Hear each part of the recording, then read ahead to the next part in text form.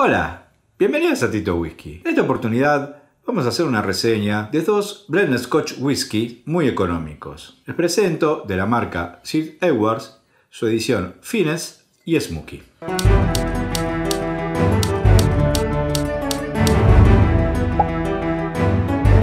Pero antes de empezar, quiero agradecer a mi amiga Florencia de Rincón 41, que muy gentilmente nos ha regalado estas dos botellas para poder hacer esta reseña. En la actualidad, la marca Sid Edwards pertenece a la empresa francesa Bardinet, pero lo curioso es que se trata de un blend Scotch Whisky, es decir, se destila y se elabora el blend y se añeja en Escocia, pero se embotella en Francia. Paul Bardinet crea su firma en 1852 en Limoges, Francia, comenzando a producir diferentes licores y bebidas destiladas, entre ellas el que fue y es su marca más conocida, el ron negrita. En 1895, a través de su hijo Eduardo o Edward, en la ciudad de Burdeos construyen amplias bodegas donde poder almacenar y añejar los distintos destilados y bebidas que adquieren y distribuyen. En 1974, Bardinet traslada todas sus instalaciones a las afueras de Burdeos,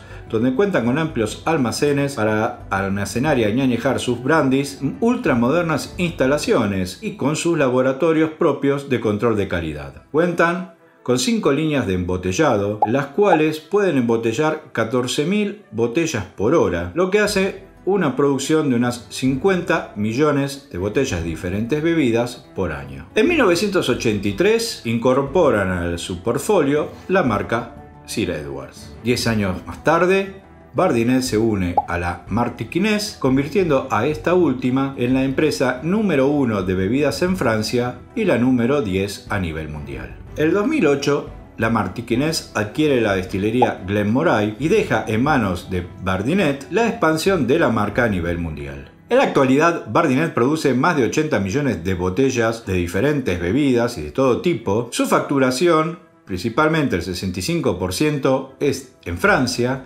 y el resto en más de 120 países. Además de los whiskies Sir Edwards, también comercializan Glenmoray, Cutie Sark, cinco marcas de ron, incluidos negrita, brandy, callaya, jugo de caño de azúcar, aperitivos, vermut, bebidas sin alcohol, como ser jugos, aguas, también tragos y aperitivos. Y el portfolio puede variar en cada país. En cuanto a la marca Sid Edwards, por lo que pude averiguar, hacia el año 1902 existía una empresa que se denominaba Edwards Company, nombre que aparece en todas las botellas de Sir Edwards, y de otra marca conocida como Glen Edwards.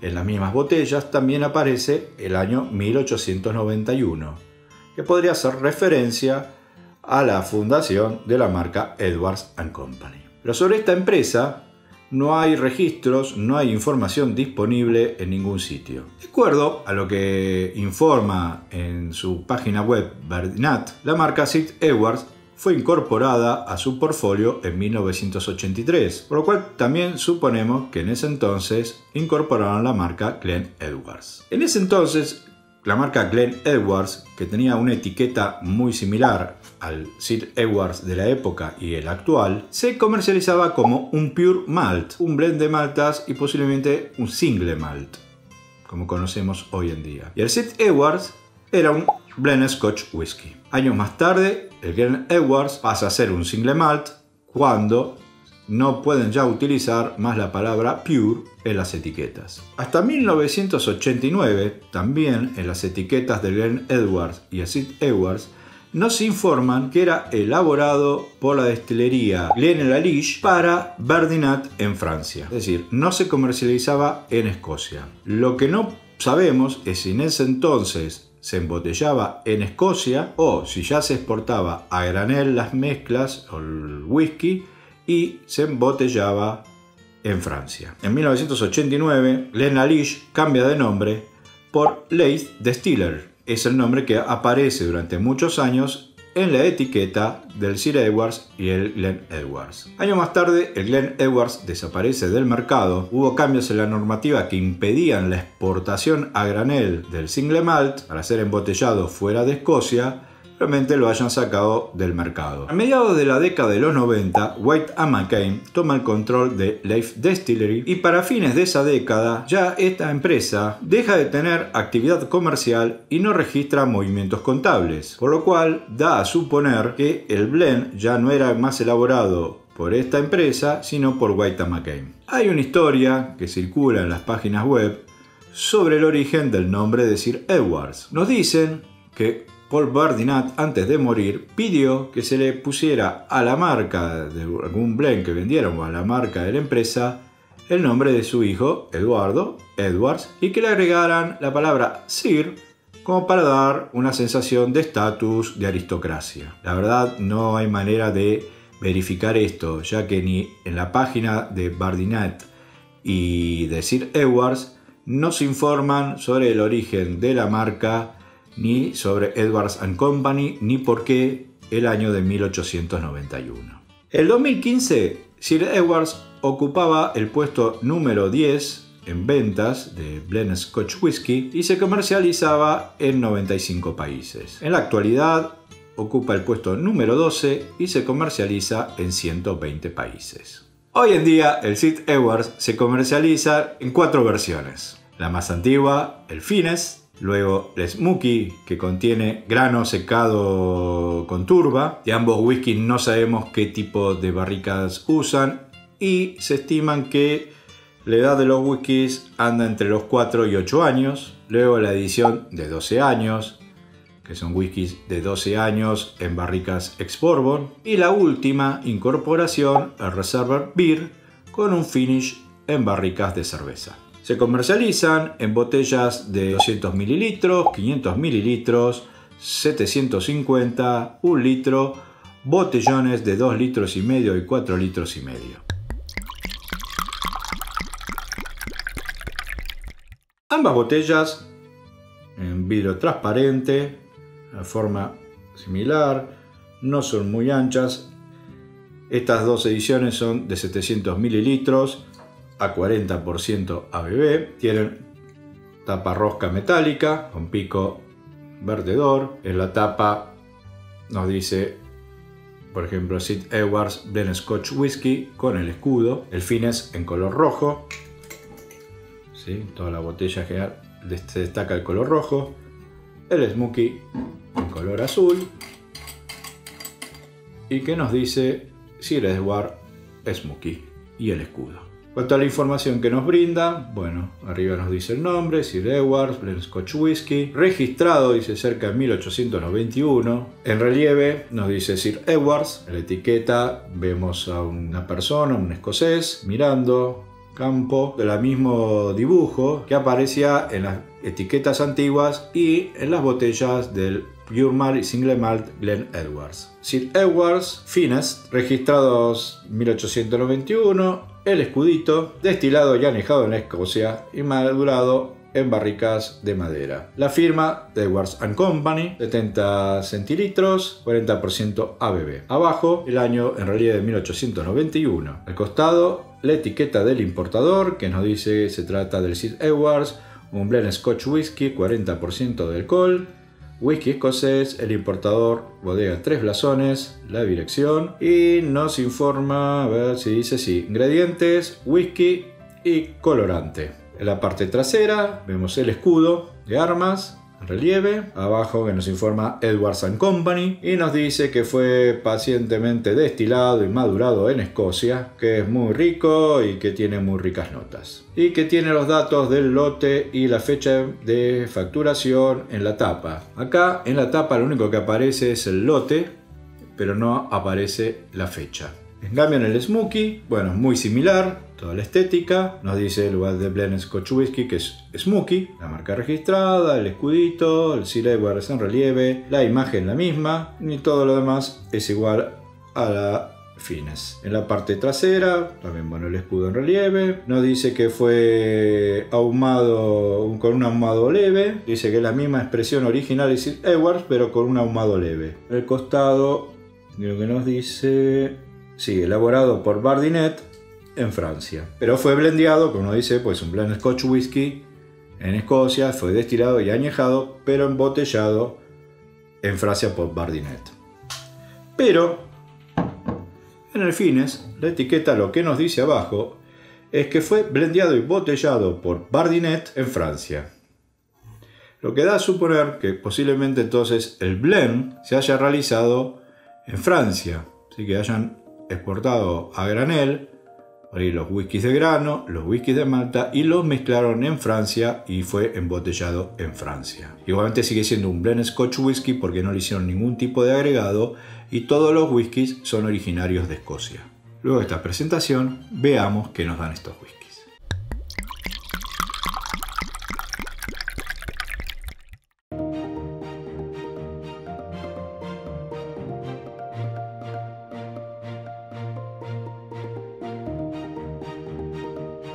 Bueno, un detalle, se habrán notado, es que el Fines tiene pico vertedor y el Smokey no.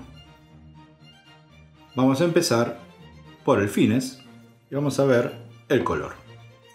Aunque como ambos tienen colorante, mucho no nos va a decir. Ámbar bastante pálido, oscuro, sin brillo. No le dan haber puesto mucho colorante.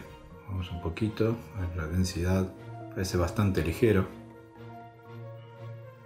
Vamos a ver la nariz. Dulce, no se siente muy dulce. Fresco. Algo frutal, se siente un poco de fruta madura, no una fruta dulce, es una fruta madura. Ahí aparece, si, hacemos una inspiración más profunda, pueden empezar a aparecer algunas notas de alcohol, del whisky de grano sobre todo, que es bastante joven la madera se siente también, está muy presente. Entre las frutas podría llegar a ser algo de pera, manzana. Se lo siente bastante ligero, no muy intenso. Algo de chocolate amargo, pero la verdad que se me quedó el alcohol ahí pegado en la nariz y me está costando ahora. no es conveniente hacer inspiraciones profundas. A ver. Sí, ahora se me hace más presente el alcohol. Igual se lo siente fresco y suave. Bueno, veamos qué pasa en la boca.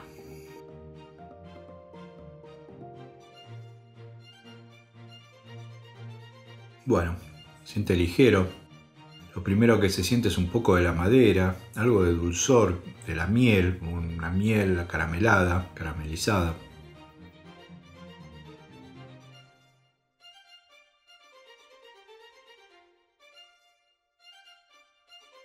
Ahí empieza a aparecer la pimienta, pimienta blanca, se empieza a mover por los labios. Dice que yo siempre me queda esa sensación de la pimienta me queda muy, muy presente en los labios.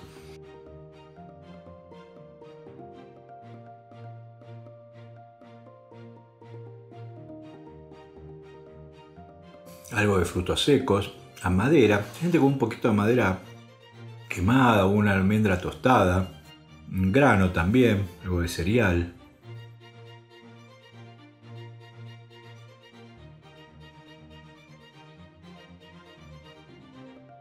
Algo de tabaco por ahí en el fondo, antes no había registrado. Y hay una sensación que a mí me da, que la he escuchado en algunas otras ocasiones, que es como una nota oscura, digo, ¿no? porque es una nota que cuesta no, muy difícil de precisar y da la sensación como algo oscuro. ¿sí? No es una nota de humo, no es una nota de carbón, ¿no? es una sensación, una percepción que uno asocia con algo oscuro lo que está sintiendo. No vaya a saber uno por qué, pero esa es la, la, la, sensación que me da, ¿no? lo que yo estoy sintiendo. La verdad es como uno de pronto va descubriendo cosas nuevas, ¿no? Novedosas. O puede poner en palabras sensaciones que ya ha tenido que no podía identificar, ¿no? ¿Ves? un whisky particular. Vamos al final. Persiste esa nota oscura. El final es un poquito... No es... Eh, mediano tirando a corto, ¿sí? casi corto diría yo, pero queda una sensación, sobre todo acá en el, allá en el fondo y un poco en, en la garganta y sobre todo de este lado, me quedó al lado izquierdo, como una sensación fresca de un picante fresco. No llega a ser algo mentolado, para nada.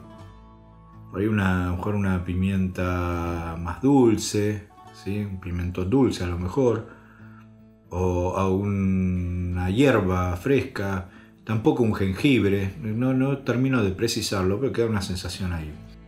Si aparecen especias, ¿sí? puede ser, queda más persistente algo de, picante por la boca, no mucho, apenas por ahí en la punta de la lengua. Algo de frutas también, ahí aparece como una, una mandarina, ¿sí? algo cítrico, dulce, eh, algo de pasas también. Vamos a tomar agua para pasar al otro.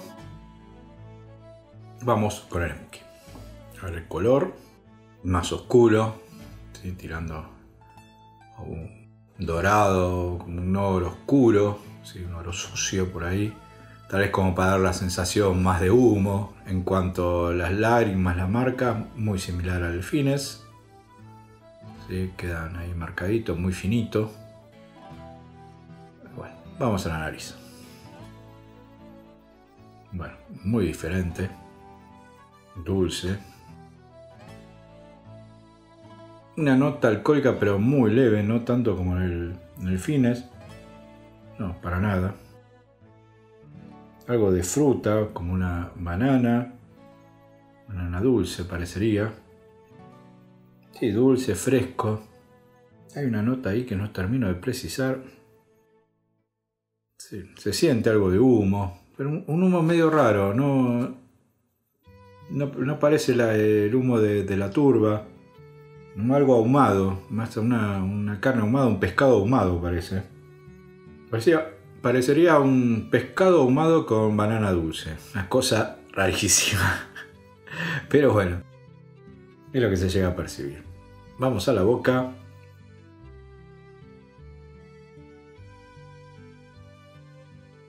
Bueno, humo. Se siente el humo, pero como le decía, un humo de ahumado, no de la turba, no tirando a carbón, a quemado, algo muy sutil.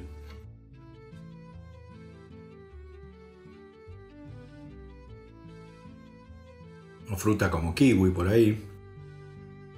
Durazno. Parecería como un durazno, una mandarina ahumada. ¿Sí?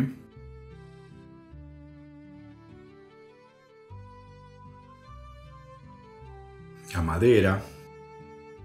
Algo de queso. Ahora, ahí está. Ese ahumado parecería como un queso, un queso ahumado.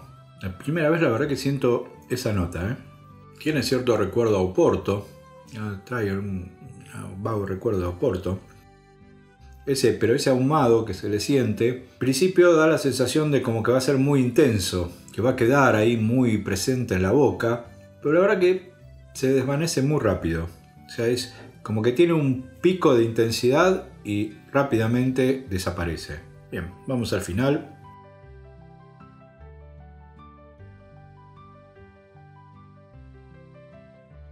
Bueno, picante de picante, queda mucho el picante sobre la lengua, pero más que un picante pimienta en este, en este caso sí parecería ser más algo mentolado, algo de fruta, pero el humo no, al final el humo no está, se ve que desaparece muy rápidamente. Veamos qué pasa con agua. Vamos primero con el fines. Bueno, se lo nota mucho más ligero. Bueno, el alcohol desaparece. No, ya. Por más que haga una inspiración profunda, el alcohol no aparece para nada. Sí se lo siente ya más dulce, la fruta madura. Sí. Lo bueno de agregarle agua por ahí es que desaparece la nota alcohólica. Vamos a la boca.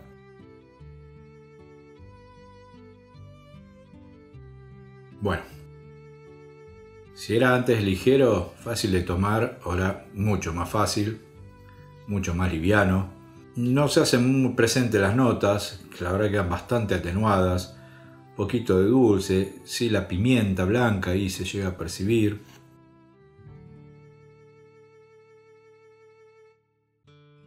Y algo de la madera. Y en el final, queda todavía esa sensación, como había dicho, de este lado, al lado izquierdo, una sensación de picante, un poquito de tabaco. Vamos a ver el smoky. La nariz. Bueno, ahora sí se hace más presente el humo de turba. Ya no es ese ahumado, ese queso ahumado que había dicho. Aunque hay un dejo por ahí de, queso ahumado, pero ya es más, se nota más humo de turba. Cómo cambia, ¿eh? Cómo cambia con el agua. Una nota alcohólica no hay. Y hay algún dulzor, ¿sí? un dulzor mezclado con, con el humo de la turba. Vamos a la boca.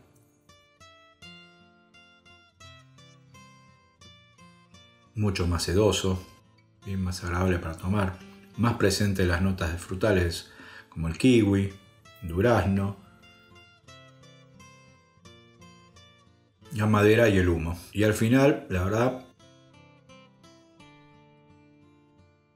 se siente como una nota de, como un humo picante. Acá, ahora con el agua es como que el humo pasa a ser más persistente y es ya más humo de turba, no ese queso ahumado que se sentía antes. Estamos ante dos whiskies muy jóvenes, ¿sí? menos de 12 años, calculen que deben tener posiblemente los whiskies de granos 4 o 5 años y no más de 8 seguramente en total los whiskies de Malta 9 son muy económicos en ambos se nota un poco la nota alcohólica pero aunque en el cuando inspiré muy profundo me quedó la nota alcohólica y me anuló ¿sí? el sentido que hay que tener mucho cuidado ¿sí? cuando vamos a oler porque si llegamos a percibir mucho la nota alcohólica nos puede anestesiar o anular el sentido del olfato. Daría la sensación de que hay bastante presencia de whisky de granos. ¿sí? Como no nos informan nada, no he podido obtener información de cómo están hechas las mezclas. Ahora no es posible saber, pero da la sensación de que whisky jóvenes y mucha cantidad de whisky de grano. En cierta manera, ambos whiskies me sorprendieron. Tanto cuando los volví a tomar, cuando estaba preparando para la reseña, y ahora, porque vieron que pude encontrar notas que la verdad que antes no había percibido, o pude precisar algunas. Los hace bastante interesante para quienes quieren comenzar a beber whisky. Son whisky ligeros, tal vez muy particulares en cuanto a sus notas, y no sentir desagrado ante estas notas, ¿sí? Por a lo mejor una nota de queso ahumado puede desagradar, pero tomarlo como una linda experiencia, ¿sí? Creo yo, de algo diferente, algo distinto, algo no muy común. El Smoky, el humo no es muy intenso, la verdad, no sé, le pusieron Smoky, cuando uno lee Smoky diría, bueno, encontrar una nota ahumada fuerte, ¿sí? De ser un Finet mucho más ahumado, con más fuerza. Y la verdad que no, la nota de humo acompaña, bueno, lo dicen en la misma etiqueta, dicen, ¿no? Que es un ahumado muy suave. No nos informan tampoco el, grado de ahumado que han tenido los whiskies. Así que bueno, si les ha gustado el video, no olviden de darle like, de suscribirse al canal y hacerle clic a la campanita. También nos pueden seguir en el Instagram y en el blog donde van a poder leer lindos artículos relacionados con el whisky. Yo les doy por las notas extrañas, ¿no? O que me sorprendieron o que no esperaba encontrar, como la nota oscura en el Finens, como la de queso ahumado, yo le doy a ambos whiskies tres titos. Así que, a disfrutarlo.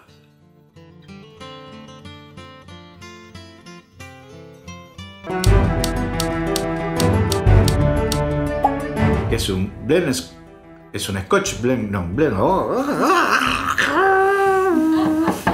En 1895, su hijo Eduardo Edward se traslada a Burdeos para eh, construir. En la actualidad, Bardinet en la, en la actualidad